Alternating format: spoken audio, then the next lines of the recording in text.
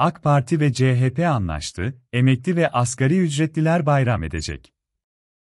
Milyonlarca asgari ücretli ve emeklinin dört gözle beklediği sevindirici gelişmeler yaşanıyor.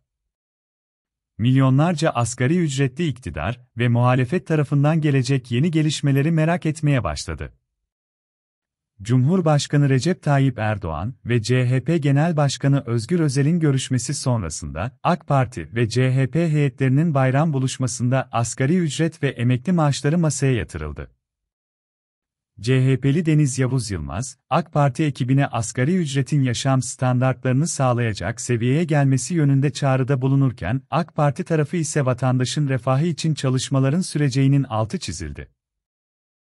Kurban Bayramı dolayısıyla CHP ve Milliyetçi Hareket Partisi heyetleri, AK Parti'ye ayrı ayrı ziyaret etti. Siyasi partiler, Kurban Bayramı arası bayramlaşmalarını sürdürüyor.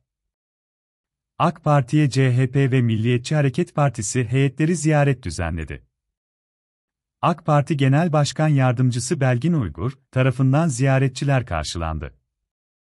Kili heyet basına verdiği demeçteki ana gündem ise emekli ve asgari ücret maaşı oldu. Asgari ücret ve emekli maaşlarını gündeme getirildi.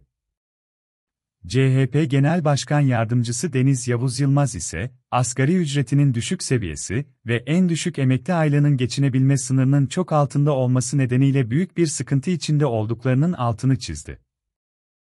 Uygur, devam edeceğiz.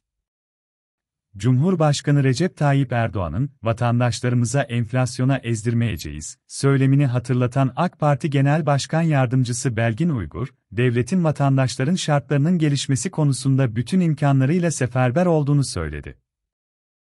Uygur, bundan sonra da devam edileceğinin haberini verdi. Uygur, ekonomik anlamda olumlu veriler gelmeye başladı vatandaşımızın refah seviyesini yükseltmek, hayat pahalılığından en az düzeyde etkilenmelerini sağlamak için bütün gayretimizle mücadelemize devam edeceğiz, dedi. Yavuz Yılmaz, umarım müjdeyi verirsiniz.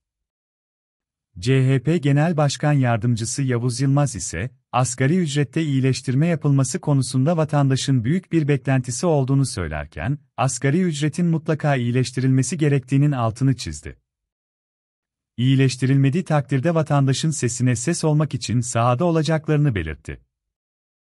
Yavuz Yılmaz, umarım bu bayramda böyle bir müjdeyi AK Parti olarak sizler tüm asgari ücretlilere verirsiniz, ifadelerini kullandı.